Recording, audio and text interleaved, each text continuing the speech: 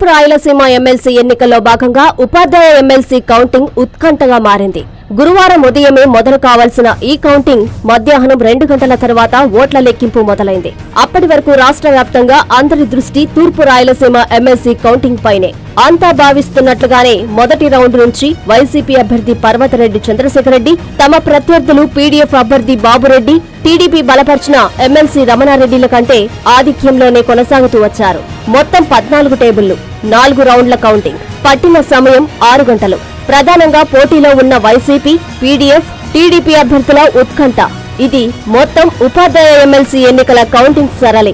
మొదటి రౌండ్లో ఏడు వేల ఓట్ల లెక్కింపు చేపట్టారు. అందులో వైసీపీ అభ్యర్థి చంద్రశేఖరరెడ్డికి మూడు వేల డెబ్బై తొమ్మిది ఓట్లు రాగా పీడీఎఫ్ అభ్యర్థి బాబురెడ్డికి రెండు వేల ఐదు వందల ఇరవై రెండు ఓట్లు. టీడీపీ అభ్యర్థి ఎల్సీ రమణారెడ్డికి కేవలం ఎనిమిది వందల నలభై ఏడు ఓట్లు వచ్చాయి. ఇందులో చంద్రశేఖర్ రెడ్డి ఐదు వందల యాభై ఏడు ఓట్ల లీడ్ సాధించారు. అలాగే రెండో రౌండ్లో వైసీపీకి రెండు వేల తొమ్మిది వందల అరవై నాలుగు పీడీఎఫ్కు రెండు వేల తొమ్మిది వందల అరవై నాలుగు టీడీపీకి తొమ్మిది వందల ముప్పై ఓట్లు వచ్చాయి. ఈ రౌండ్లోనూ నాలుగు వందల ఓట్ల లీడ్ సాధించారు. ఇక మూడో రౌండ్లో వైసీపీకి మూడు వేల ఎనిమిది పీడీఎఫ్ రెండు వేల నాలుగు వందల ఎనభై టీడీపీకి ఒక వెయ్యి అరవై ఐదు ఓట్లు వచ్చాయి. ఈ రౌండ్లో కూడా చంద్రశేఖర్ రెడ్డి ఐదు వందల ఇరవై ఎనిమిది ఓట్ల ఆధిక్యం సాధించారు.